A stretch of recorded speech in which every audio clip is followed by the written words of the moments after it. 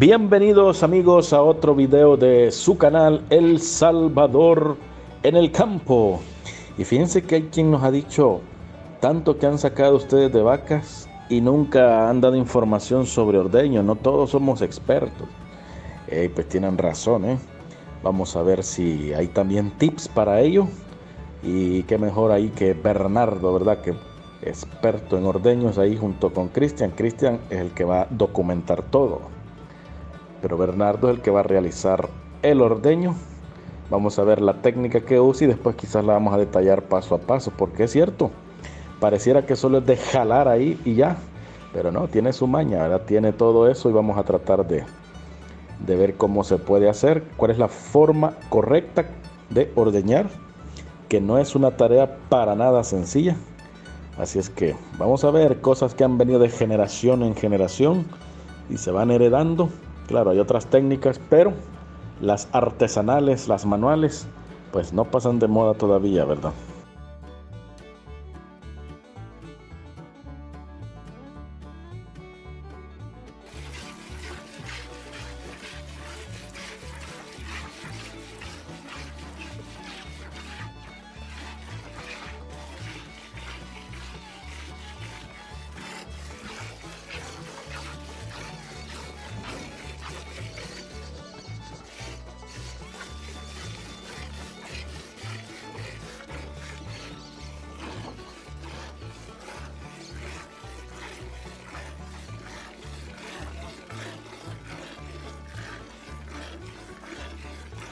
Este tiene una ubre más grande, ¿verdad? Sí.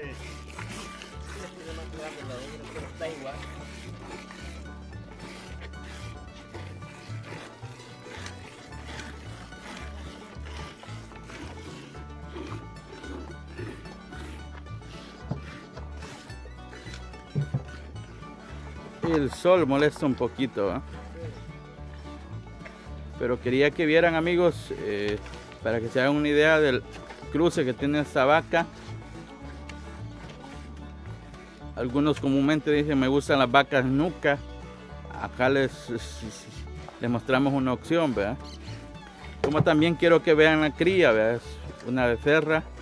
Siempre se utilizó el mismo toro Holstein. Cuando me refiero al toro Holstein, amigos, de que se utilizó acá, no hablamos de un toro puro, más o menos un cruce de Holstein que ha proporcionado por acá a- al rancho acá de Penchito muy buenas crías y ya lo percibieron ustedes. Hay cuatro vacas que parieron, las cuales están ordeñando y están dando leche, que salieron prácticamente todas hembras, ¿verdad? Así que por los buenos resultados siempre se, se han escogido toros así, ¿verdad? Comúnmente un toro, un becerro a veces es la pérdida, ¿verdad? Pérdida porque en este caso de los cruces se venden a menor precio, en cambio una vaca sí se le gana un poco más, ¿verdad?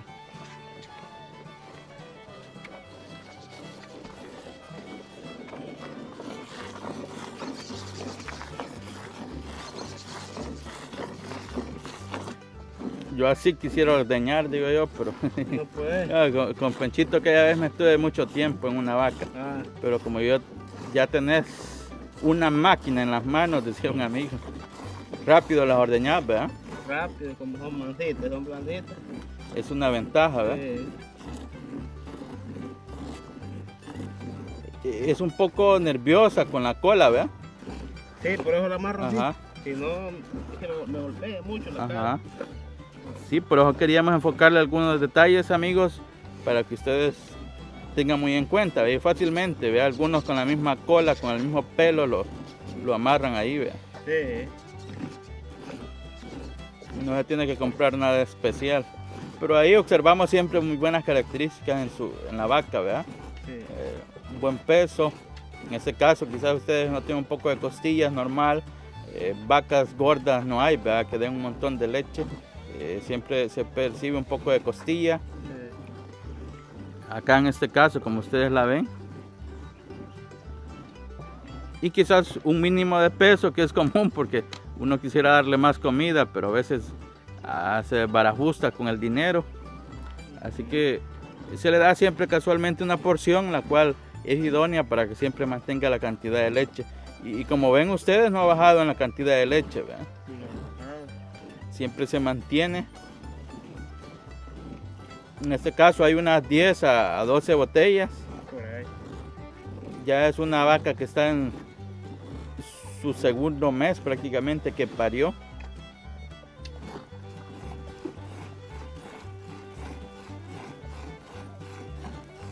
Y no necesita de alimentación especial, ve ahí la vemos que sí lo.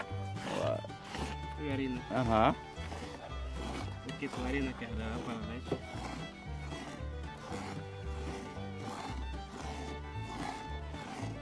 Quizás muchos de ustedes, amigos, estén pensando en que quizás se puede utilizar para dos ordeños, y sí se puede, ¿verdad?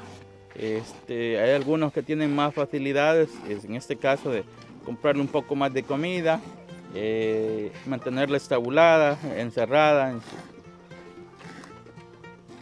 Acá el- el- prácticamente el río ya se, se secó la corriente, ¿verdad? Ya se va secando.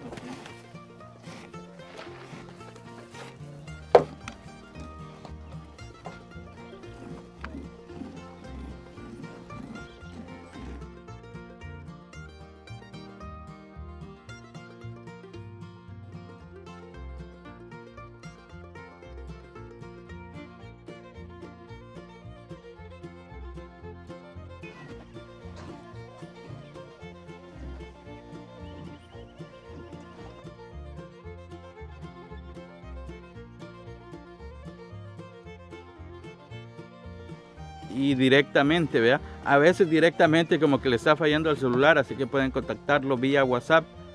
Eh, mensajes si no le tiren, o sea normal o por WhatsApp, porque a veces le cuesta un poquito corresponder. Y aquí está amigos, ya se finalizó ordeñar la cuarta vaca, por eso estamos en tiempo récord acá de mostrarles todos los detalles. Quizás usted quiera ver un poco más la cría, pues vamos a mostrársela a continuación. Ya, comentamos que es una becerra. eh, comúnmente se ha utilizado un cruce, un toro Holstein para proporcionar buenas crías.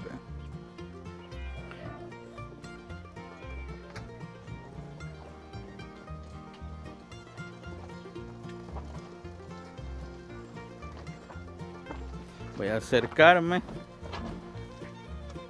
Y aquí está la cría, amigos, para que ustedes la vean un poquito más.